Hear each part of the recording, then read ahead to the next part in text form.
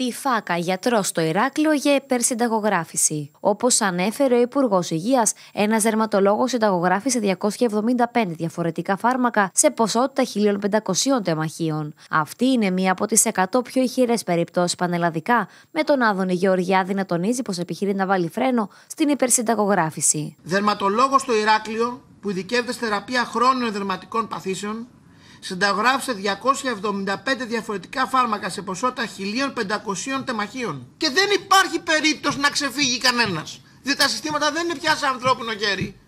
Είναι στον ηλεκτρονικό υπολογιστή. Άρα δεν υπάρχει περίπτωση κάποιος γιατρός που κάνει αυτό που να ξεφύγει. Θέλω σαφές μήνυμα. Σταματήστε να το κάνετε. Θα σας πιάσουμε όλους.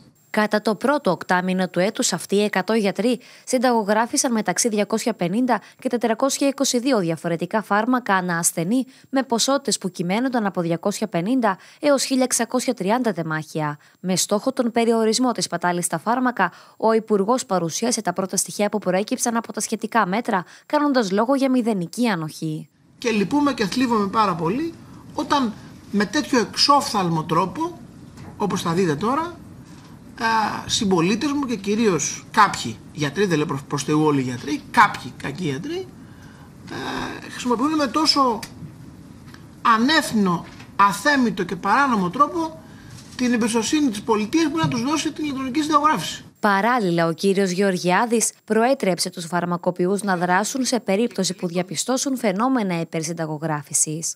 Αν ένας φαρμακοποιός βλέπει ότι κάποιος γιατρός γράφει υπερβολικά πολλά σκευάσματα στον ίδιο ασθενή και εκτελεί τον ίδιο μήνα ξαφνικά εκατοντάδες τεμάχια, αυτό είναι κάτι που θα πρέπει να του κινήσει το ενδιαφέρον, θα πρέπει να ενημερώσει τον οποιή. Οι μεγάλες ποσότητες φαρμάκων, η παροχή φαρμάκων για μεγάλες χρονικές περιόδους, συχνές επαναλήψεις συνταγών, μικρές ποσότητες σαν ανανέωση και συνταγές σε συγκεκριμένα φαρμακεία ή συγκεκριμένους ασθενείς ήταν οι παραβάσεις που εντοπίστηκαν.